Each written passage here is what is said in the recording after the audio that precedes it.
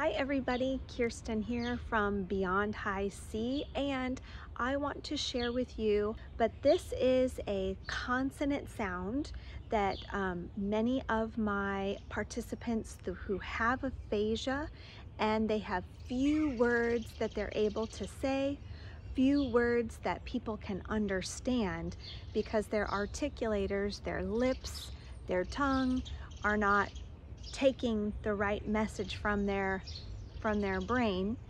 And we've been working on the sound that the letter B makes.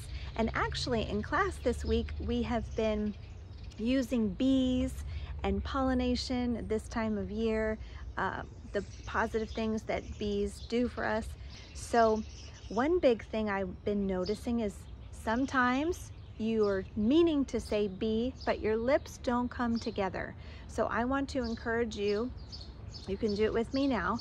You can look at yourself in the mirror, maybe get a little mirror and do this uh, so that you can see yourself. You can watch me first. I'm gonna be sure I put my lips together and take your time.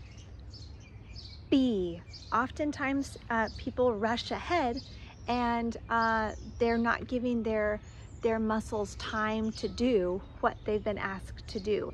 B. So say that with me and really concentrate on your lips coming together and look in the mirror.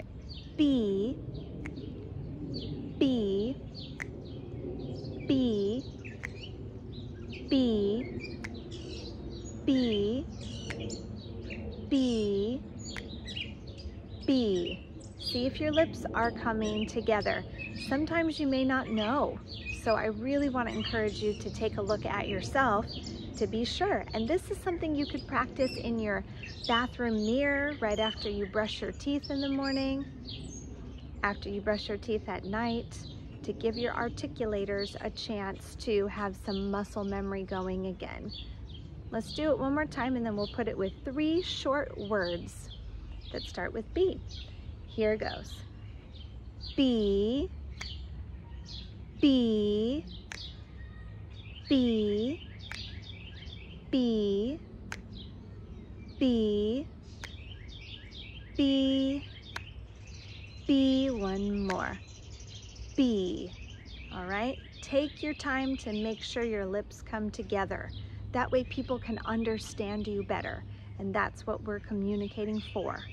All right, three simple words. Let's do big big, big, lips together, big, big, big, big, big. Now let's say the word bad. Ready, go. Bad, bad, bad, bad, bad, bad, bad. Now we can say the word ball. Ready? Say ball, ball, ball, ball, ball, ball, ball, ball. All right. Now you could repeat that uh, you could repeat that each and every day. And uh, I will make a, um, a short little exercise with visuals. Visuals can be helpful to and quick reminder. And you could go over to our website, which I will link right here. Go over and you can get that visual. You could have it on your iPad or your computer, or you could print it and you could take it into the bathroom with you when you look in the mirror so that you can see what to do, look in the mirror and do it, okay?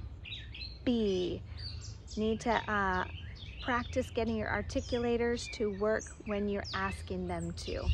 I thank you so much for watching. I hope you're subscribed to this channel because we have more content, more exercises, and hopefully helpful things for you on the way. We know you can do it. If you keep practicing, keep working at it, I know that you can get your words out better. So I hope you're feeling hopeful about that and I hope to see you in the next video.